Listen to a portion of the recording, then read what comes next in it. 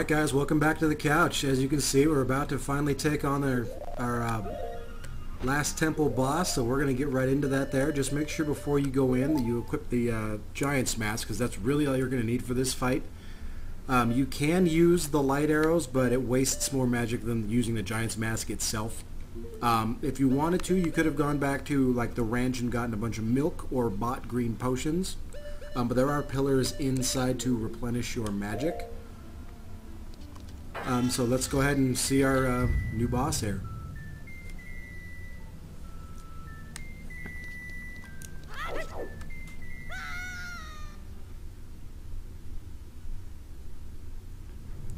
Now sadly, the Giant's Mask, this is the only actual place you get to use it. Um, but it's actually a lot of fun.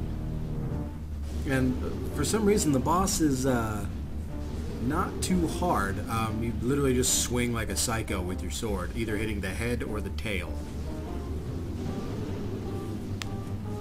So go ahead and pop this bad boy on, and Kid Link becomes Giant Link.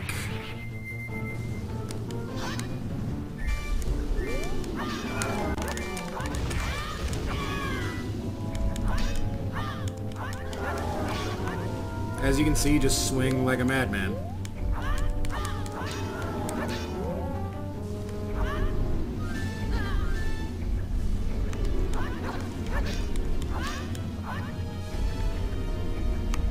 Now the only problem is the camera angles. It likes to try and think you're not where you want to be.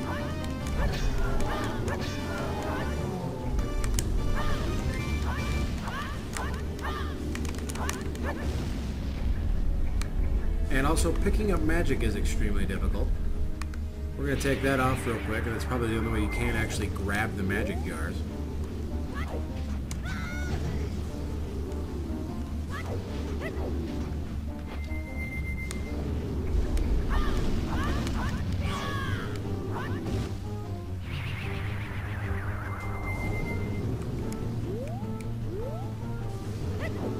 If you stand too long in one place, the sand does, it sinks. So it's not a, a real good idea.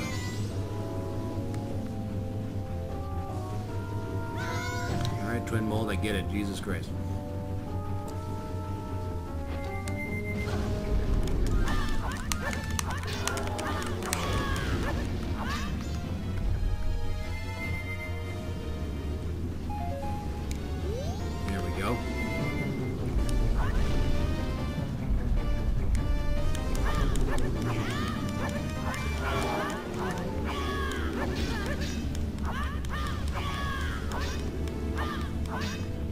They've really said there's pretty much uh, no point to Z targeting because they move so much and you're not really going to stay on. You want to just go for the head or the tail.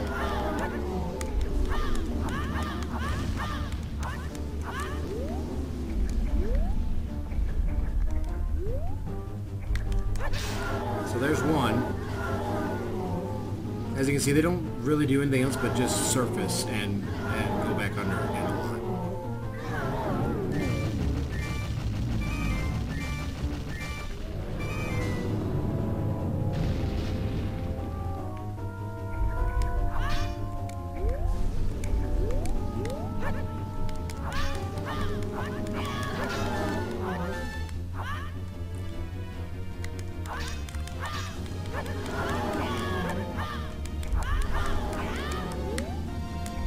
Yeah, you literally just chase him down and beat the crap out of him.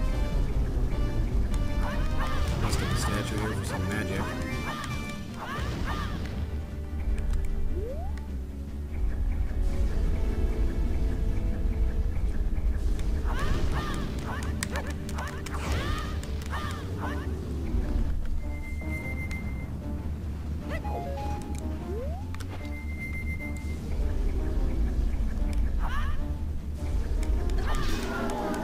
Go. That's literally the entire boss fight. You're just swinging like an idiot.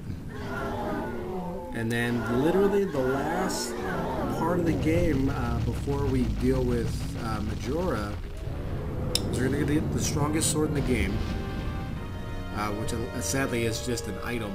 Uh, it's not really an equipable weapon.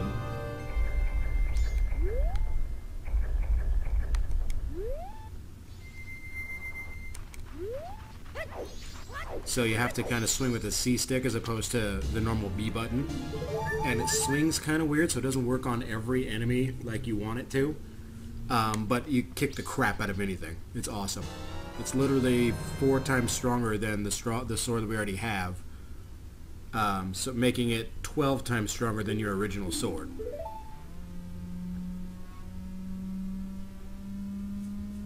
And I believe you can do jump attacks with it, which makes it do two to four times damage, so you're just destroying everything.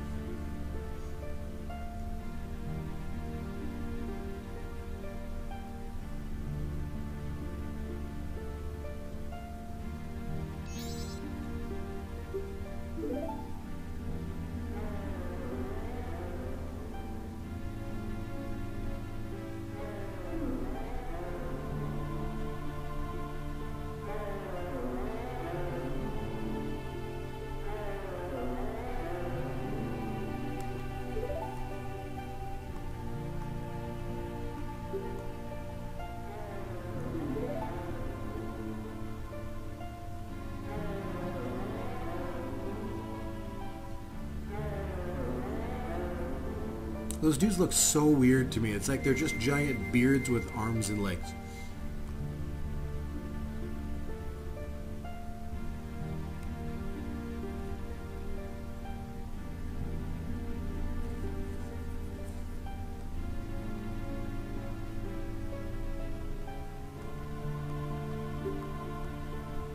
And of course, they want you to forgive uh, Skull Kid for what he's done, even though you know we're about to kick the ever living crap out of him.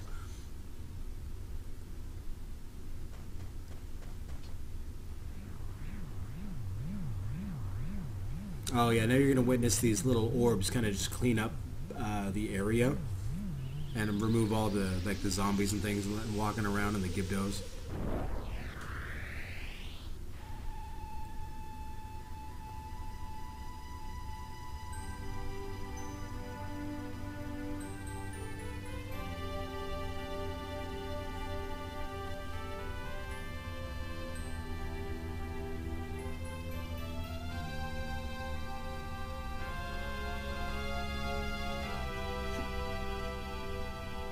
And after we get the, uh, the, the awesome sword, we're literally going to be uh, heart piece hunting. We're going to get pretty much all the other remaining heart pieces in the game, uh, except for the few that I didn't get because some of those games are just freaking ridiculous.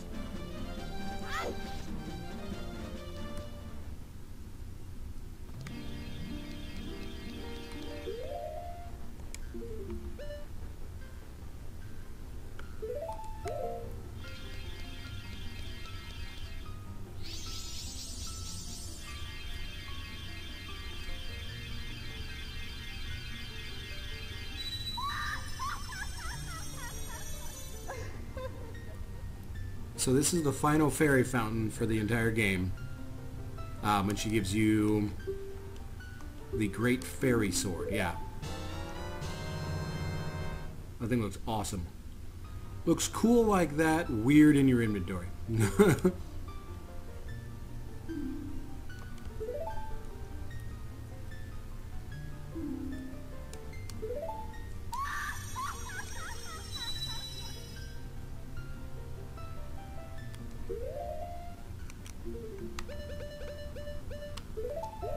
So yeah, sadly it's. Uh, yeah, when you swing forward like that, that's where the angle isn't quite right. You want them to swing like straight down like this, not this. so you pretty much stick to using it like this. Or putting on your Deku mask by accident, you know. Um, so with that done, uh, literally all we're going to do now is um, warp back to Clock Town, deposit our money, reset time, and get to work on those heart pieces.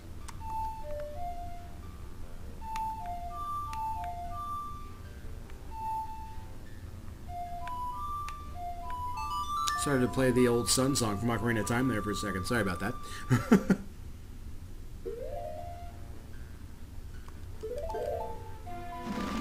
and basically what we're going to be doing is visiting all the, the business scrubs throughout the areas of the game trading them uh, the different deeds so we can go get heart pieces.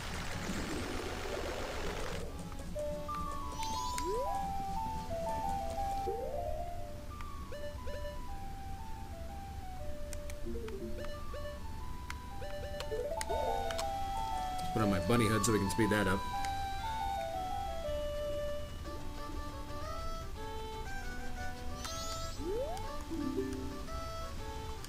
You know what is awesome though? We don't have to do that stupid statue bull crap anymore.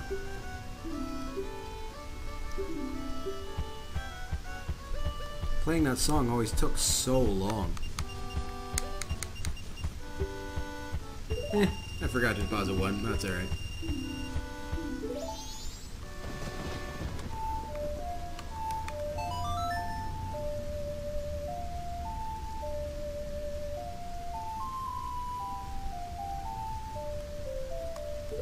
So I think what we'll actually do is uh, we'll make this a shorter video so that I can spend more time on the next one just going to hunt all those things down for you guys.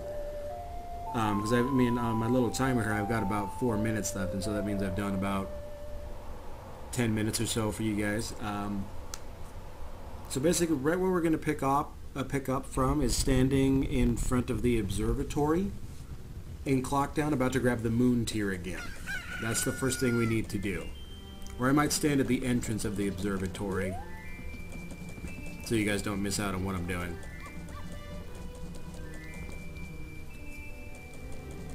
So yeah, here, we'll get, just get there real quick and then we'll call it good. Okay. Alright guys, this is where we're going to leave off at. Um, I will see you uh, back on the couch.